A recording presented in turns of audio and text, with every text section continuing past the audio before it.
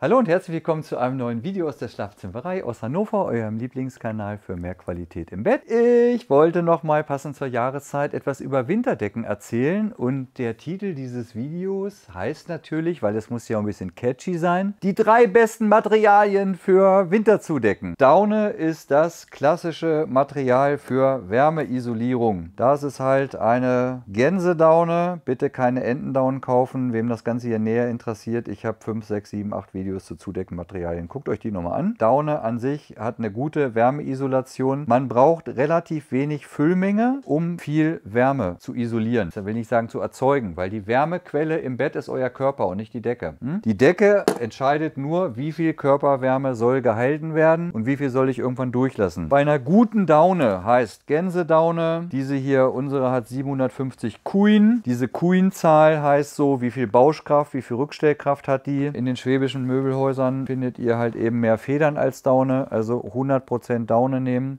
Gänsedaune nehmen, möglichst hohe Queenzahl, einfach mal nachfragen. Und dann macht man auch Wärme nicht nur über Füllmenge. Winterdecken fangen an bei 600 Gramm, geht los 800 Gramm bis zu 1200 Gramm. Da wird es aber dann schon richtig warm. Je größer die Kassetten, also je weniger davon, desto mehr Platz hat die Daune, um aufzugehen. Weniger Füllmenge, kleinere Kassetten. Man steuert also über Füllmenge, Steghöhe, und Kassettengröße macht man die Wärme. Für Frostgürtel super, schön leicht. Man merkt das Zeug kaum auf sich drauf. Die wiegen halt nichts, haben immer einen Baumwollbezug, der relativ anständig ist, lassen aber relativ wenig überschüssige Wärme und Feuchtigkeit durch. Also für viel Schwitzer oder Menschen, denen sowieso immer warm ist, ist Daune vielleicht nicht das richtige Material. Aber wem im Winter auch schön kalt ist, wer schön kühl schläft, ist Daune gut. Wenn man es gut macht, die ist schon sehr atmungsaktiv, aber die hat lange nicht die Atmungsaktivität wie zum Beispiel von einer Kamelhaardecke. Kamelhaar bzw. Kamelhaarflaum. Wie gesagt, gibt es auch schon ein paar Videos drüber. Kamele bleiben am Leben, werden aber ausgekämmt. Es ist nicht vegan, ist Daune hier auch nicht. Die Gänse sind dann meistens tot. Und diese Unterflaumwolle, die wird ausgewaschen, da wird ein Vlies von gearbeitet und dieses Vlies wird dann in der Decke verarbeitet. Die haben dann so einen gräulichen Schimmer. Das Inlet war mal weiß. Die Farbe kommt über das Kamelhaar tatsächlich. Doppellagig gemacht hier, Wärmeklasse 4, 1400 Gramm Kamelhaar. Das ist ist schon warm. Camela ist eine natürliche Funktionsfaser. Die ist schon relativ atmungsaktiv und lässt auch was durch. Ist allerdings nicht waschbar. Down kann ich waschen, Synthetik kann ich waschen. Camela muss ich eine Reinigung geben und 50-50, dass sie eine Reinigung zerstören. Im Bettenfachhandel kann man das auch reinigen lassen. Also für Allergiker ist das nichts. Camela ist auch deutlich schwerer. 1400 Gramm, doppellagig mit zwei Bezügen drin. Das ist was für Leute, die auch ein bisschen Gewicht auf sich drauf haben wollen und sich einkuscheln wollen. Wer zum Beispiel seine Decke immer zwischen die Knie nimmt, weil das sonst so unangenehm ist, ist Daune vielleicht das falsche Material. Ein Kamela hat hier ein bisschen Substanz. Das kann ich dafür auch verwenden und reibe es auch nicht kaputt. Eine Daune mache ich kaputt damit, habe auch keinen guten Effekt. Kamelhaarflaum drauf achten, auf den Bezug achten. Hier haben wir so einen Novus-Bezug drauf, ganz viel Tänzel drin, ist halt super leicht, atmungsaktiv, trotzdem sehr warm und liegt schön auf einem drauf. Man kann sich einkuscheln. Gibt ja Leute, die mögen das möglichst leicht und andere brauchen was auf sich drauf. Irgendwie, oh, ist keine Gewichtsdecke, aber die wiegt halt schon so ein bisschen mehr. Kamelhaar Pflaumen, auf die Füllmenge achten.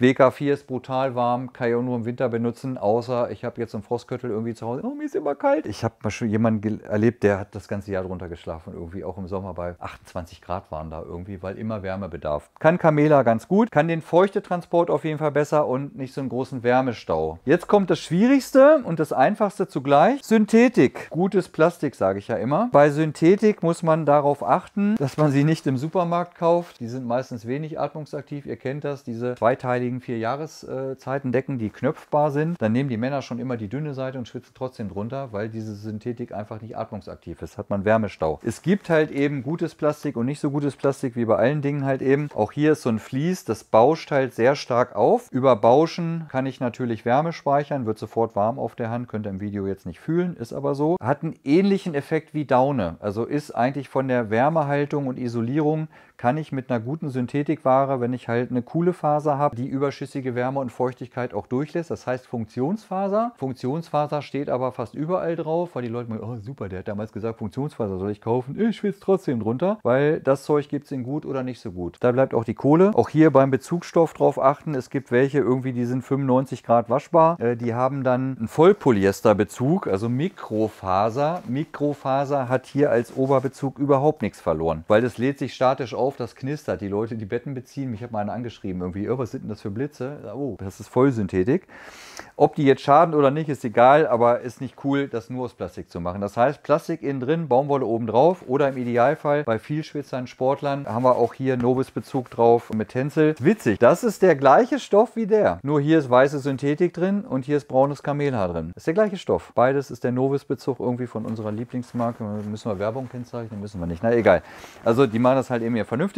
Auch die hier doppellagig, WK4, wiegt aber die Hälfte von der Kamelhaardecke. Ist ungefähr so leicht wie die Daune. Also Leute, die früher gut unter Daune geschlafen haben, jetzt eine Allergie entwickelt haben, vielleicht nicht auf Kamela umsteigen, sondern eher auf eine gute Synthetikware. Wir bieten ja auch eine super Online-Beratung zu Zudecken an übrigens. Wir müssen Raumtemperatur, wir müssen Menschen kennenlernen. Was seid ihr für ein Typ? Was braucht ihr für Material? Lasst euch gerne beraten. Aber Vollplastik ist doof. Kamelhaar gibt es auch ohne Pflaumen, dann heißt es Kamelhaar. Ist ein bisschen steifer, riecht auch ein bisschen vielleicht nicht so geil. Kamelhaarpflaum ist teurer. Warum wohl? Weil es aufwendiger ist herzustellen. Bei Daunen gilt das gleiche. Es gibt Daunendecken für 59 Euro irgendwie aus China. Kannst auch bis zu 4000 Euro ausgeben für eine Eiderdaune, bringt dich auch nicht weiter, aber irgendwo dazwischen gibt es gute Daunendecken auch in der richtigen Füllmenge und dann klappt das auch. Wie dick das Ganze sein soll und was euch da irgendwie äh, am Leben erhält im Winter, ohne dass ihr friert und ohne dass ihr schwitzt, da braucht ihr Beratung für. Das kann man nicht einfach so nach Text, äh, es wird meistens nichts. Deswegen auch da beraten lassen. Zudecke ist teuer, begleitet euch aber auch 10, 12 Jahre, manchmal 15. Das sind die Zeiträume, über die wir reden, bei guten Zudecken. So, jetzt kann keiner sagen, scheiße, das habe ich nicht gewusst, weil ihr habt das Video gesehen. Dann viel Erfolg oder bis bald in der Beratung. Schlaft gut und friert nicht und schwitzt nicht. Schöne Winterzeit. Bis bald.